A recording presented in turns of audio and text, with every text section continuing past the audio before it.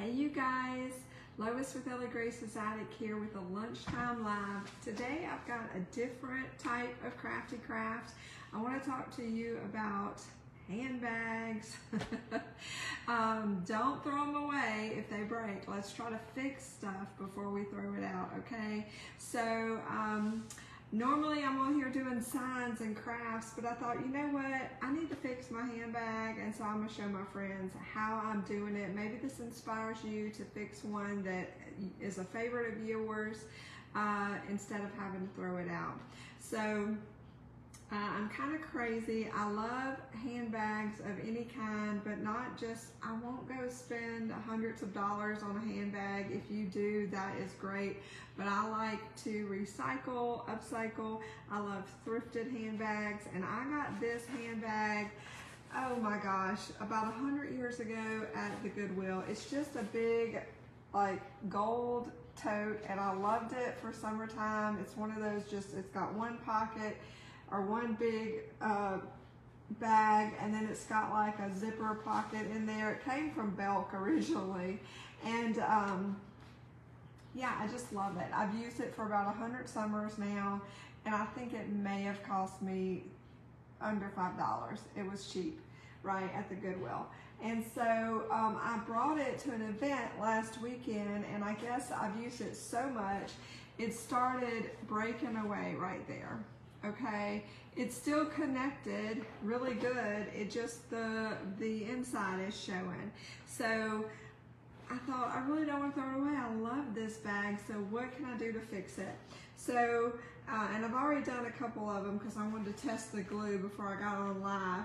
But I got this. This is just leather, um, or faux leather, faux suede cording and I got it at Walmart. I'm sure you can get it at Hobby Lobby or anywhere um, that craft supplies or are sold. Uh, it cost me like $3 and it had uh, black, it had gray, it had a tan, and it had this dark brown color, which is what I wanted. So I just grabbed all three because I thought, surely I can use these again in another craft, right? So I got the whole packet because the, they didn't have this by itself. Now, in hindsight, I thought to myself that I probably could have dug out an old belt that I could have cut up and used for this project. That's a possibility. Um, maybe some ribbon. If you have ribbon, you could probably even get away with twine for this, but I just wanted the leather look. Um, I thought it would pair well with the gold and so, uh, and I could still continue to use it. It would kind of be neutral, right? But you could probably even put fabric on here if you wanted, if you had something, a similar situation uh, and you needed a fix. Now, like I said, before I got on live, I did a couple of them because I wanted to try my Fabric Fusion. And while I love my Aleene's Fabric Fusion, um, I've used it for a hundred projects, um, but it did not work well on this project. It just didn't hold um, like I wanted it to. So I got my hot glue gun fired up and that worked really well. So I'm gonna show you how I did it. I just took the cording, I took all of it off the color that I wanted. And I got my hot glue gun and I just put, I'm just gonna get you in the center here. I just put a thin line of hot glue right there in the, as close to the bottom as I could. I took my cording and just laid it right on top and held it down. Let it just set up, right, for just a second or two. And then once I felt like that was kind of set, I just took my cording there, got all of it in my hand, and I just started wrapping. Now, I came around the first lap, I overlapped what I had done just to kind of help hold it in place with the glue. I kind of wrapped it around, and then I just kept wrapping, kind of pulling it snug. I'm just wrapping, just kind of like making a little end cap on each of the straps, if that makes sense. And you know, once you're done with whatever you decide to put on here, you're gonna have like a, a little original handbag. It's okay if you overlap. I kind of think that gives it a kind of crafty, um, handmade look.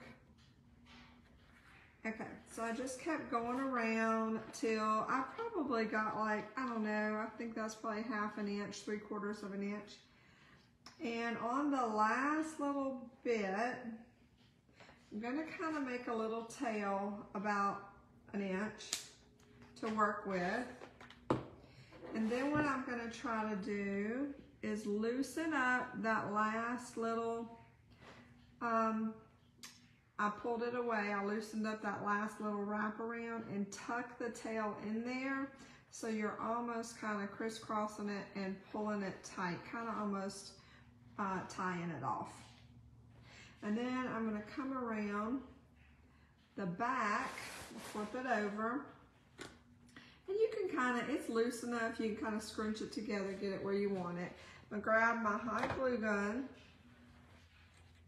and I'm just gonna put a little bit kind of in the in in between the straps of leather. And I'm gonna come around hold that down really good. It might take it a second. I got right at the tail, my little tail piece is wanting to bend up. So we're just gonna hold that down. And that's it. Look at that, you cannot tell where that cording was coming apart. And look how cute that looks. So there's that one. And then I did this side already. You can't even tell.